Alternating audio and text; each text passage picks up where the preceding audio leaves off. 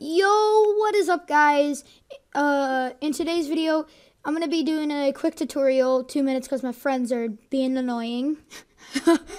but, um, I'm going to teach you guys how to do a bass boost in Camtasia 2019 or 2020. It works in either of them. So the first thing you're going to want to do is you're going to want to open up uh, Camtasia and uh, you're going to get your song that you want. I used one from the YouTube library. And first listen to it to kind of know what it is so I've already heard this song a ton of times. I use it in my videos. So what you're going to want to do is you're going to click on it so it has this.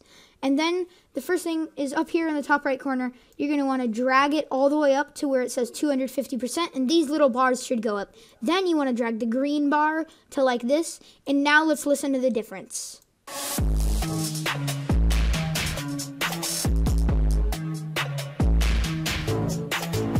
And then if we skip to the parts where it's like completely covered up, like right here.